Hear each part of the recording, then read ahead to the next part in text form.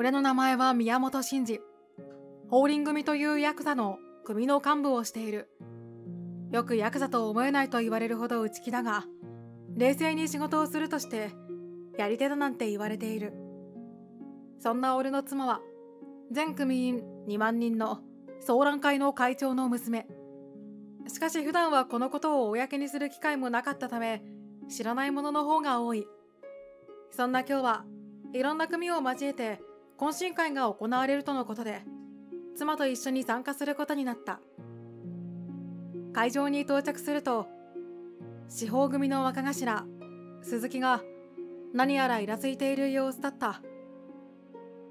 なんか、あいつイラついてるな。何もしないといいけど。そうね。こんな場でそんなことする奴は厄介だからね。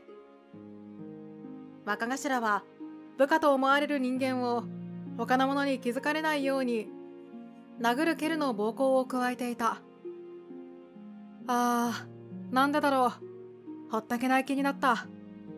ごめん、行ってくる。ここで待っててくれ。すぐに戻る。ああ、始まった。ほっとけないんだから。本当にヤクザなのかしら。ちょっと、誰にも気づかれていないと思っているのかもしれないが、今日は懇親会ですよ。ここでそんなことをするのは違うのでは。なあ、誰だお前。他の組のもんに口出しするんじゃねえよ。うせろ。言われなくてもそうするつもりです。あなた、気をつけておいた方がいいですよ。ここにはいろんなトップの関係者もいることですし、目をつけられたら大変なことになりかねない。悪いことを言わないから、俺の忠告を聞いておいた方がいい。そう言って俺は、若頭から離れて、妻のいる場所へと戻った。なんでお前みたいな、どう見ても年下の下っ端に説教されなきゃなんねえんだ。目上のもんに話す態度じゃねえんだよ。忠告だ。ヤクザがいちいちそんなもんにビビってたら、ヤクザなんかできねえっての。そんな中、会場では俺のことを仕事ができる上に早い。取引も成功させ、今後期待している人物と称賛の声が上がっていた。舞台上に立ち話すトップたちからも、紹介したいと舞台上に呼ばれるほど注目されていた俺。舞台上に立つ俺を見て、さらに苛立つ若頭。この俺に説教する上、注目されてるなんて生意気だな。気に入らねえ。あいつの何がすげえんだ。トップもトップだぜ。見る目がねえ。それにしてもあいつ、思い知らせてやんねえと気が済まねえな。俺がトイレに立ったタイミングで、若頭は俺に突っかかってきた。おいお前、さっきはまだ話も終わってないのに、よくもさっさと消えやがったな。それにしても、注目されてるからって調子に乗ってんだろ。たかが小さい組の幹部が、それくらいででけえ口叩いてんじゃねえよ。そう言って、俺の胸ぐらを掴んできた若頭。調子になんか乗ってませんよ。こんなところで突っかからずに、正々堂々とみんながいる場所で、こうしたらいいのでは。まさかバレたくないんですかそう冷静に言う俺。上位団体の若頭の自分に、誰かとも気づかず、ビビることなく、落ち着いて対応する俺のことが気に食わない若頭。こいつはきっと、今は懇親会だからって、騒ぎを起こさないように、何もやり返せないだろうぜ。じゃあ、思いっきりやってやるぜ。お前は頭がいいとかなんとか言われてるのかもしれねえが、俺にはかなわないだろう。どうせ力では勝てねえんだから。それにお前は下位の人間。俺は上位の人間。価値が違いすぎるんだ。そんな人間が、この俺に意見を言うこと自体、おかしな話だと思わねえか。謝るなら今だぞ。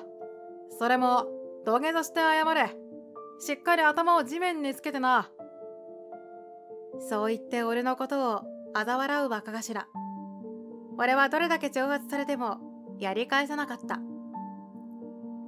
あなたの意見はよくわかりました。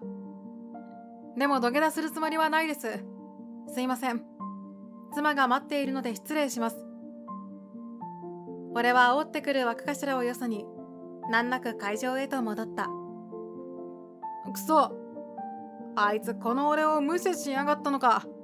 舐めやがって。とことん気に入らねえ。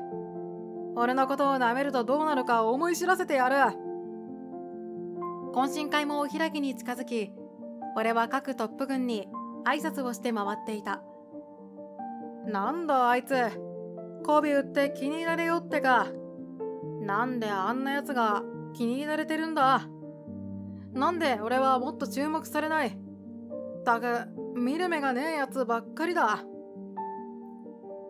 若頭の怒りはピークに達する。妻がトイレに立っているのを待っていた時、若頭は声をかけてきた。おいお前、さっきはよくも逃げてくれたな。俺の話はまだ終わってなかったんだぞ。それなのにさっさと逃げやがって。怖いからって逃げるなんて、それでもヤクザか。若頭は俺の肩に手をかけてきた。次の瞬間、上位軍団の若頭が俺を気絶寸前までフルボッコにした。参加が立場わきまえろや。バカヤクザはあの世に送ってやる。そう言って、やってやった感から、若頭は笑う。俺は懇親会で各トップがいるということもあり、妻の父親でもある総覧会会長にも迷惑がかかってしまうと思い、やり返すことなく、若頭の思うままに殴られた。ほらな、お前なんて大したことねえじゃねえか。頭の良さでカバーしてんのか知らねえけど、ヤクザなのにこの弱さはいかがなものかな。その情けない顔、みんなに見てもらいたいもんだな。本当は期待されているほど大したことありませんでしたって言ってやろうか。完全に自分の強さを思い知らせてやったと思ったのか、満足げな顔をする若頭。もう、完全に勝利の顔だった。それくらいで、してやった気分になっているんですか。なあ、まだまだやられ足りねって言ってんのか。本当にそんなこと言っていいのかな。次は起き上がれねえかも。嫁がどこにいるんだか知らねえが、そんなひどい顔面見たら、きっとお前のことを弱い男だと幻滅して、愛想つかされるんじゃねえのか。お前はここで終わりだな。ヤクザとしても、旦那としても、この俺に盾つくから、こんなことになるんだよ。わかったか？この俺を敵に回したらどうなるか。わざわざこんなことのために俺を呼び止めたんですかちなみに妻は、こんなことでどうのこうのという人間ではないですよ。ここで終わってしまっても、それはそれです。それであなたは満足したんですね。じゃあ、もういいですよね。妻には迷惑かけたくないので、もう行ってください。お願いします。この俺に、お前ごときが指図すんじゃねえって言ってんだろ。そんなにやられて恥ずかしいんだろそらそうだよな。今日も紹介なんかされちまって、どんなやつかと思えば、大したことのねえただの雑魚じゃねえか。びっくりしたぜ。俺とは立場が違いすぎるんだよ。それが分かってなさすぎだな。なのに調子こいて、説教なんてしてきやがって。分かったか？上位団体の俺とは天と地ほどの価値が違えんだよ。住む世界が違うんだ。あー、気分がいいぜ。何が期待されてるだよ。どこがだ？たく、トップの奴らも何にも分かってねえな。バカばっかで困るぜ。本当に評価されるべき人間は、俺みたいな人間なのによ。なんで若頭止まりなんだか。なあ。そう思うだろう、お前も。確かに俺はまだまだですが、あなたは絶対に評価される人間ではないと思います。こんなやり方でしか何もできないんですから。な、なんだって。てめえまだ分かってねえようだな。お前のためにこうやって時間を使ってやってるだけでもありがたく思えよな。それをなんだ？生意気な態度ばっかり取りやがって。そう言って、若頭はまた連続で、俺の顔面を殴り続けた。その状況を見ながら、何が起こっているのかをなんとなく理解した妻は、怒りに震える。その直後、組長呼べ組ごと消す。妻は若頭に近づき、そう言い放った。突然現れた女性に驚く若頭。な、誰だてめえ。関係ねえもんは引っ込んでろ。怪我してえのか。俺の妻ですよ。指一本触れないでください。あんたがこの雑魚の嫁は。でなんだって。何か言ったか組長を呼べって言ってんだよ。お前みたいなやつに話をしても意味がない。このタコさっさと呼びな。妻は若頭の耳をつかみ若頭を罵倒した。一見おとなしそうに見えたためか妻のギャップに驚く若頭。話せてめ誰に口聞いてんだ。女だからって容赦しねえぞ。いきなり偉そうな態度を取りやがって。すぐに冷静になりそう言いながら掴まれた耳を勢いで離す若頭。妻は関係ない。あんたの標的は俺だろ妻には手を出さないでください。俺が相手になる。そんなボコボコにやられて嫁を守れるってのか。説得力がねえんだよ。そんなお前に何ができる。お前の相手なんてつまんねえんだよ。できるもんなら俺を倒してみろよ。どうせ何もできねえんだろ。誰が守ってもらうって言った？あんたなんか私一人で十分だけど。こっちも時間ないのよね。さっさと終わらせましょう。と若頭の腹に蹴りを入れ倒れた若頭の胸ぐらをつかむ妻。お前何すんだ？ヤクザの嫁が上位の若頭に手を出すなんてありえねえだろ。許されると思ってんのか。一体何者なんだ？妻の入れた蹴りの強さがあまりに意外すぎてさらに焦りを見せる若頭。まさかただもんじゃねえのか。お前もまさかヤクザなのか。聞こえないの？この耳。まあいいわ。あんたこいつの部下でしょ。さっさとここに組長呼んできな。じゃないとこいつやっちゃうよ。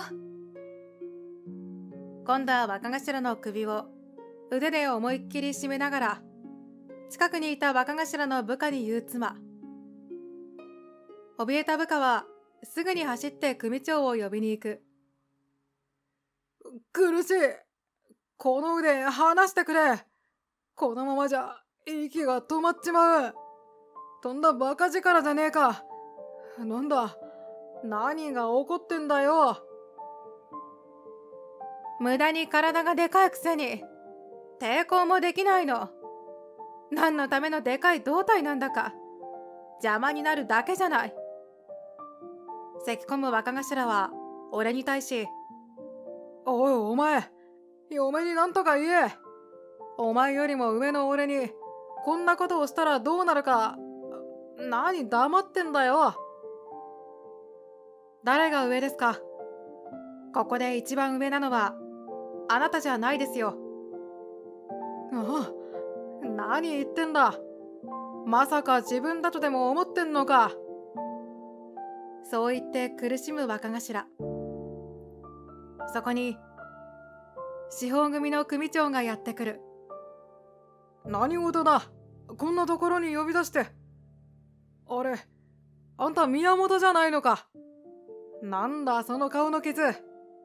こんなところでトラブルを起こしてんのかこれは一体どういうことなんだこの女は鈴木お前なんで女にやられてんだよ誰かさっさと説明しろ俺の手を煩わせるな。組長、助けてください。この女は宮本の嫁らしいですけど、こいつ強いんです。なんせ力がびくともしない。まるで抵抗できないんです。女相手に何言ってんだ情けねえ。早くどうにかしろ。おい、その男を離せ。宮本、お前も何を黙ってんだ。さっさと鈴木を離すように嫁に言え。妻は腕を離し、若頭の背中に蹴りを一発食らわせた。あんたが組長。資本組、組ごと消してやるから、覚悟しな。あんたみたいな一般人が何ができるんだ。ちょっと強いからって勘違いしちまったのか。ヤクザの組相手に何言ってんだ。旦那がヤクザなら、それくらいわかるだろう。お、ちょっと待て。あんた、どっかで見たことがあるような。妻を怒らせない方がいいと思いますよ。まあ、今更遅いですけど、もう怒っちゃってるんで。夫をこんな目に合わせておいて、黙っておけるというの。ただのヤクザの嫁ができることなんて何もねえんだよ。さっきは俺もやられたかもしれねえが、勘違いするなよ。やられてやっただけだよ。俺の優しさだ。うぬぼれんじゃねえぞ。調子のいいこと言うじゃない。そうね。どこにでもいるただの嫁ってだけなら何もできないかもしれないわね。じゃあ、私がどこの誰なのか教えてあげるわ。ついてきなさいよ。なあ、なんで俺がお前についていかねえといけねえんだ。俺も暇じゃねえんだよ。お前の旦那のような小さい底辺の組と違って、こっちは上位の組なんだよ。なんならこの話してやってる時間も、俺にとっては貴重な時間なんだ。時間を使ってやってるだけ、ありがたく思えよ。やっぱりあんたって弱いのね。全部口だけじゃないよ。根性なしって言いふらしてやるわ。資本組の若頭って立場の人間が、まさか女にビビる弱い若頭なんて知られたら、資本組の名が廃るわよね。まあ、大した組でもなさそうだし、構わないか。なんだと、この俺を侮辱して、痛い目に遭わされてってのか。そう言って、妻に近づいていく若頭。妻には近づかないでください。ここは妻の言うことを聞いている方が、後々のためですよ。なあ、それどういう意味だよ。俺が後悔するとでも言いてえのか。いいじゃねえか。この女、どこかで見たことがあるんだ。思い出すためにも言ってやろうじゃねえの。だが、大したことなければ、その時は覚悟しておけよ。宮本、お前もだ。今、称賛されているお前を、地獄へ落としてやる。夫婦ともども、終わりだからな。覚悟はできてんだろうな。そりゃいい考えですね、組長。仕方ねえ。そんだけ言うのなら言ってやる。俺の時間を無駄にすんじゃねえぞ。決まりね。来て損はないんじゃない後悔はするかもしれないけど、自業自得。まあ、楽しみについてきなさいよ。地獄へと落とされるのはどっちでしょうね。これはいい見物になりそうです。早速行きましょう。妻について、俺と若頭、組長が車を走らせ、ある場所に到着する。門構えから明らかに普通ではないことが、誰にでも分かった。まさに、桁違いの豪邸だった。まるで有名人か、ヤクザの家みたいだな。こいつらの家がヤクザとか。いやそれはねえだろうな。玄関に到着し、ドアを開けると、そこには黒い服を身にまとった男たちが数人たち。妻を見て、お帰りなさいと頭を下げていた。なんだよ、この豪邸。お前、召使いでも従えてんのか？こりゃ、かなりの金持ちに違いねえ。大金踏んだくって、さっさと終わらせてやるぜ。どうぞ、中に入ってください。みんなを招き入れ、リビングに案内する妻。そこに入ると、ソファーに腰掛けていた一人の男。その男を見て、思わず腰を抜かしてしまった司法組組長。組長、何やってんですか？いくら豪邸だからって、そんな腰を抜かすほどでもないでしょ。なことより、俺らの時間も使ってやってんだし、がっぽり金せしめてやりましょうや。お前、黙っていた方が良さそうだぞ。ああ、そうか。どこかで見たことある顔だと思ったのは、総覧会の会長のそばにいたのを見たことがあるからだったってわけか。あんた、会長の娘だったってわけかよ。いや、なんですって。どこの会長の娘？お前もヤクザの人間だったってことか。でもどうして大した会じゃないんでしょ組長、いつまでそんな腰抜かしてんすか。それでいくら用意させます？よっしゃ今日は宴だ。お前黙れって言ってんのが聞こえなかったのかお前のその口切り裂いてやろうか。騒乱会を知らねえのか。え何ですか？騒乱会って言いました。そうだ。騒乱会の会長をしている。佐々木隆二だ。お前みたいな雑魚でも我が騒乱会を知ってんのか。ソファーに腰掛けていた会長はそう言いながら若頭に近づいてきた。そう。ここは妻の実家でもあり騒乱会の会長の家だった。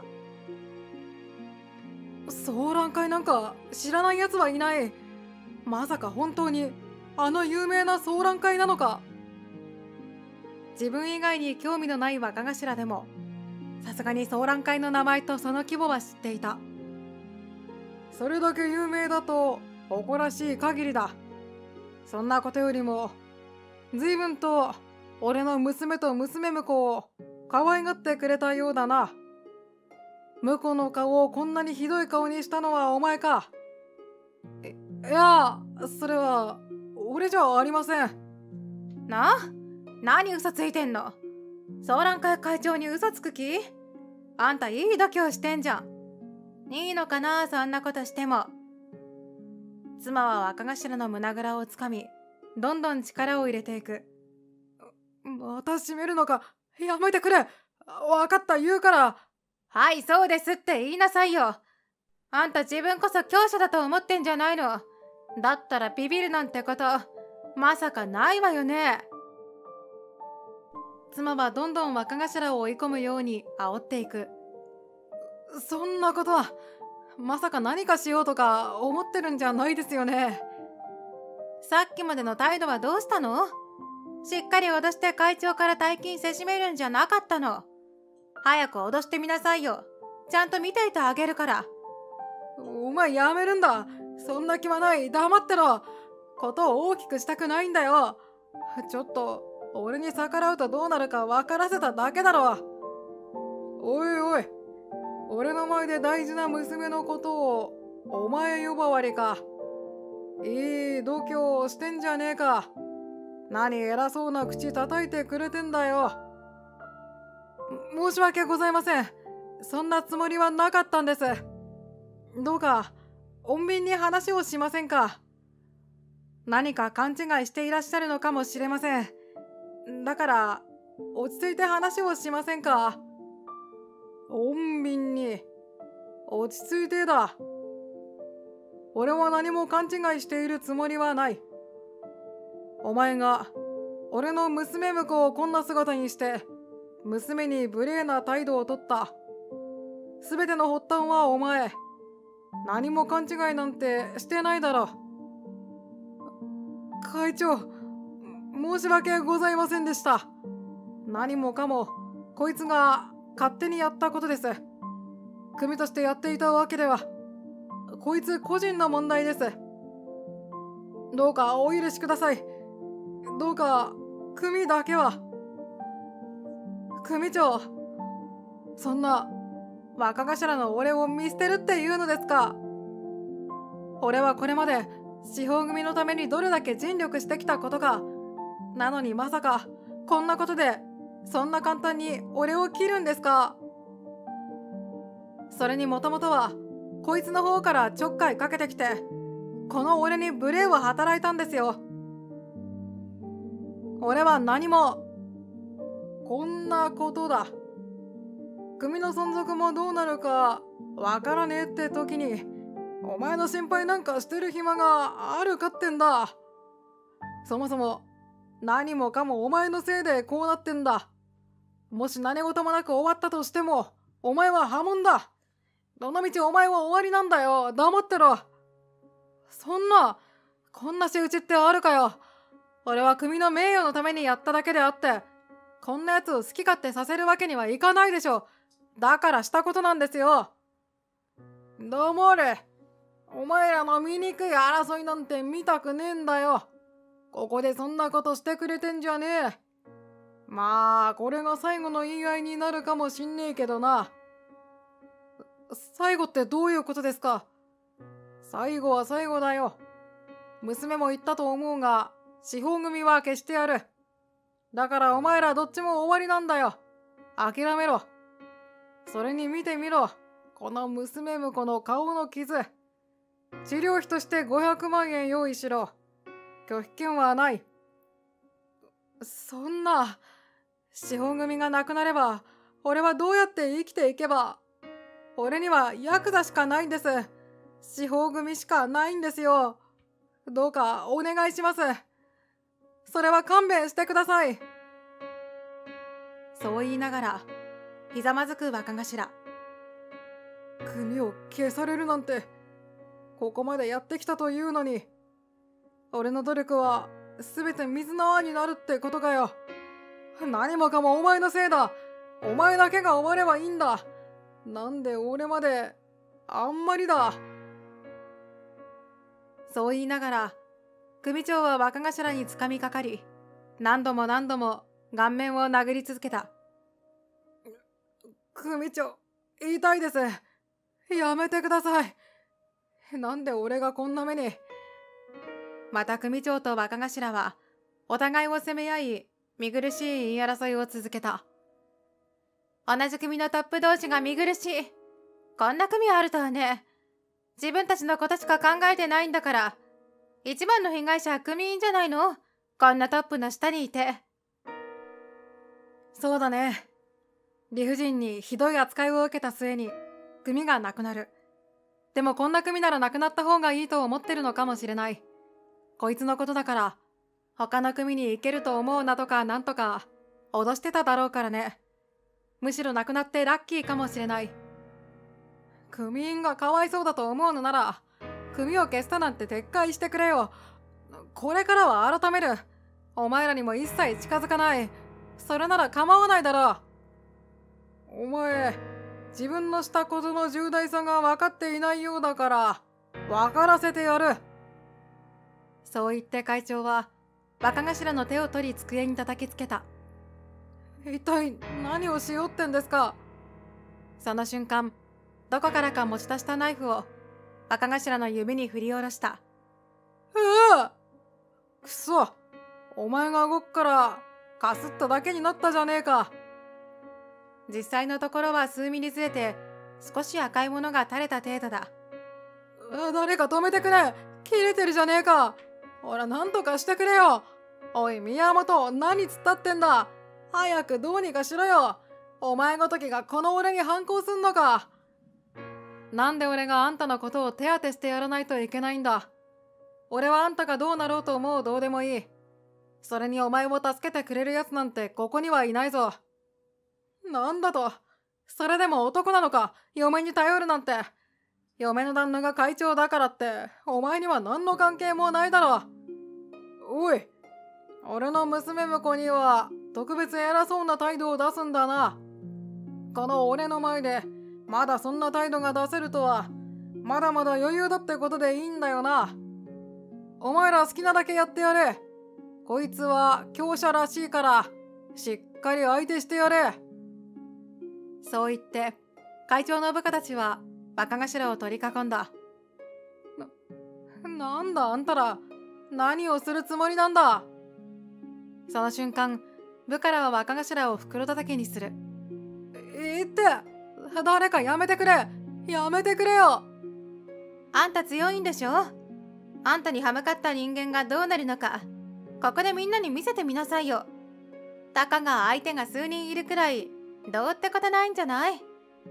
なあ、無茶言うな。組長、助けてくださいよ。俺は知らない。俺はそんな目に会いたくない。若頭は立っているのもやっとの状態なので、部下たちは若頭から離れた。なあ、ひどい顔だ。強いのであれば買わせたはずだけど、やっぱりこの場ではビビってしまったってことですか。うるせ、黙ってろ。大したことないわね。まあ私一人でもあんたの相手できるもの。会長の部下たちなんか、きっとつまんないほどの相手に決まってるわ。あんた一応言っておくけど、もうこのヤクザの世界にもいられないようにしてあげるから。もうヤクザであるのは今日でおしまい。今まで散々、ヤクザの若頭という立場を使って、いろんなことをやってきたか知らないけれど、もうそんな生活はできなくなるわ。ここであんたは何もかも失うの。全部奪ってやるから。家も車も財産も地位も、あ、人権もかしら。何の価値のないあんたは、誰からも必要とされなくなって、みんな忘れていくのよ。わかった？私を相手にしたらどうなるか。ま、今更後悔しても遅いけどね。な、なんで何もかも奪うんだ？もう十分罰は受けただろ。家まで奪う必要はねえだろ。全部お前がしたことの結果だ。仕方ねえ。自業自得だ。組長さん何か勘違いをしているようですがあなたも一緒に若頭と同じ道をたどるんですよ。だってあんたの管理不足でもあるでしょう。それに妻が総覧会会長の娘だと知らなかった時の態度は身に余るものがありましたからね。どのみち組も消えることになるし今までの生活はできなくなる。だから今の家では暮らしていけないでしょう。終わるのはあんたも一緒だってことですよ。な、なんで俺まで俺に責任だふざけるな俺が何をしたってんだ宮本お前注目されてるからって調子に乗ってるんじゃねえか。それに会長の娘婿だからって、それが俺たちに知られた瞬間強気になるのかよ。情けねえと思わねえのか。どうせお前なんて一人じゃ弱いだけの、ただのヤクザだ。総覧会の名に恥じるようなヤクザなんだよ。散々なこと言ってくれるじゃない。この人は会長の名がなくても強いわよ。父の名を語ったりはしないし、だからこそ相談会には入らず、ホーリン組の幹部としてやってるんじゃない。一人でも組としても弱いのは、あんたたちの方でしょ。まあそうだ。あんたがうちの夫をフルボッコにしたんだから、私もあんたを同じようにしてやろうと思ってたんだったわ。あんたら二人ともやってやる。女だからってなめんじゃないわよ。な、何をするつもりだ？あんたはもう俺に十分にやっただろ。まだやるってのかよ。若頭をつかみ俺がやられたように若頭をフルボッコにする。そのあまりの素早さにそれを見ていた組長は腰を抜かしてしまう。やめてくれ。もう死んでしまう若頭も意識が朦朧とする寸前までやられてしまった。もちろん何度もやり返そうとするも一発も妻に当たらなかった。さあ、次はあんたよ。覚悟しな。やり返せるものなら来なさい。なんで俺までやめてくれ。言いたい。若頭と同じようにどんどんやられていく組長。逃げようとするも首根っこをつかまれ身動きが取れない結局組長もやり返すこともできないまま意識を失ってしまった。よほんは今時のヤクザってこんなもんなの？私が小さい時見ていたヤクザたちはこんなもんじゃなかったはず。とりあえずあなたの敵は取れたわね。まったく話にならねえ二人だな。これで終わったな。こいつらは何もかも失わせる。まさかこんなことにまで発展するなんてな迷惑をかけたなアキ俺が初めに声をかけなければ会長もいきなりお時間取ってしまって失礼いたしました。本当に厄介なヤクザに手を出したわね。まあ、あなたのいいところでもあるんだけれど。結局、あの世に送られたのは若頭自身となった。その後、司法組は解散させられ、組長も若頭もヤクザ界からは通報された。二人ともヤクザの世界には二度と足を踏み入れることができなくなった。若頭は言われた通り、家も車も所有する財産も何もかもを没収。